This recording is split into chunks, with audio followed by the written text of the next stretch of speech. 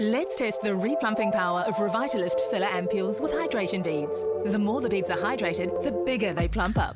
Each day, one ampule is applied to the beads. Let's see the test results. After seven days, the ampule beads are more plumped.